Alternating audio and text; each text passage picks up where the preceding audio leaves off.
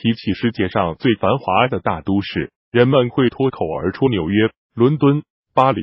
可是你知道吗？假如时光倒退一零零零年，世界上最繁华的大都市，其实是如今中国的一座四线城市——河南开封。河底日隆，低日高，黄河竟是天上涛。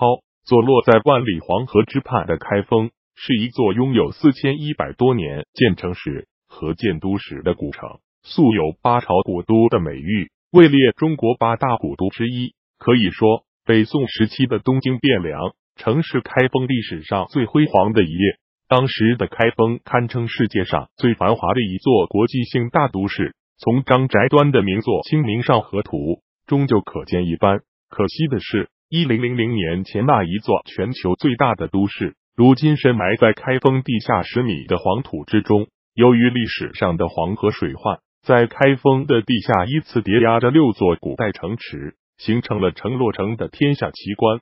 值得庆幸的是，肆虐的黄河并没有完全吞噬这一座千年古城。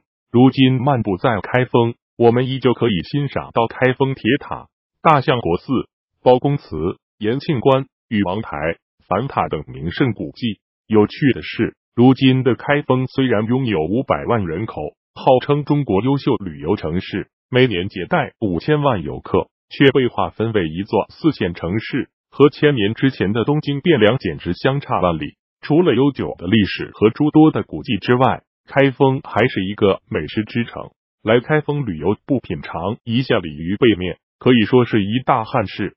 据说当年慈禧太后都对这一道名菜赞不绝口，高兴的说：“善后忘返。”从一零零零年前的全球第一大都市，到如今的四线城市，不知道你对八朝古都开封的印象如何呢？看更多，来微博 at 背着女儿去旅行。